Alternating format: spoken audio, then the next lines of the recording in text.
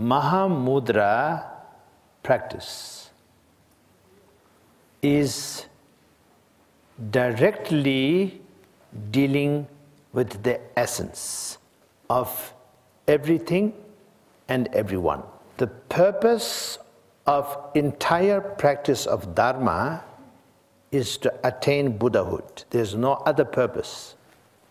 And purpose of attaining Buddhahood is to assist all sentient beings to attain Buddhahood. There's no other purpose. The purpose of all sentient beings to attain Buddhahood is because it is their destination. It is their destination because it is their potential. It is their essence.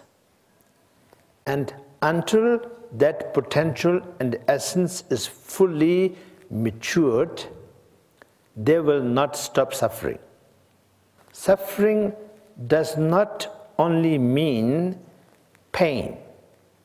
Suffering means unnecessarily going in a circle, looking for something which can never be found. So where instead of looking for something which can never be found, then one should finally come to one's sense by knowing what you are looking is not anywhere, it is inside you. It is you who you are looking for. You are not looking for anything anywhere. It is the essence of you, the potential of you, that is what you are looking for.